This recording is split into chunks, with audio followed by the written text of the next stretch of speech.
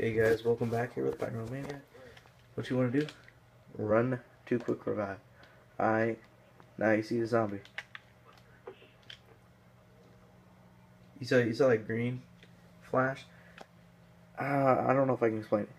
You're supposed to go under the map whenever you buy quick revive when a zombie hits you. If you go down while the zombie hits you while drinking quick revive, you will fall underneath the map and endlessly fall. Thank you for watching. I will hope to get a full video up if they did not patch it.